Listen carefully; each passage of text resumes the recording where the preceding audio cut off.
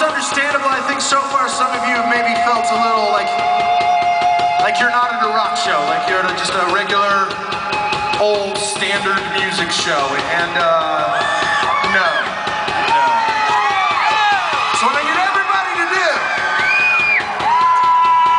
is if you're already standing, get on those tippy toes. Just, just, I mean, really, like, get some energy about you. Shake it out. This is like seventh inning stretch. Just get a little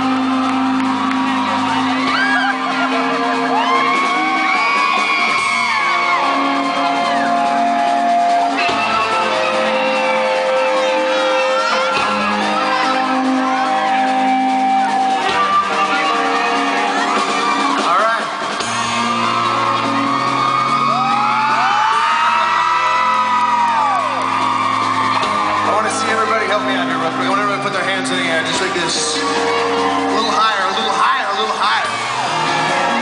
I want you to keep them up there for a second. That's not hands, that's a little girl.